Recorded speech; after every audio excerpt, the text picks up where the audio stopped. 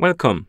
In front of me I have Huawei Watch D2 and I'm gonna show you how to change the screen timeout duration on this watch. Basically, how quickly the screen turns off after you stop using your device.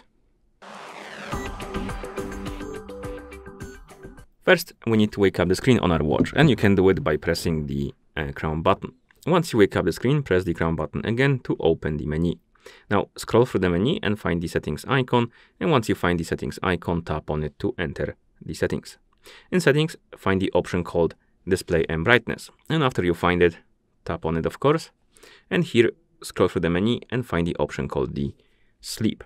Once you find it, tap on it, and right here we have the list of durations we can select from. We have auto, 10 seconds, 15 seconds, and 20.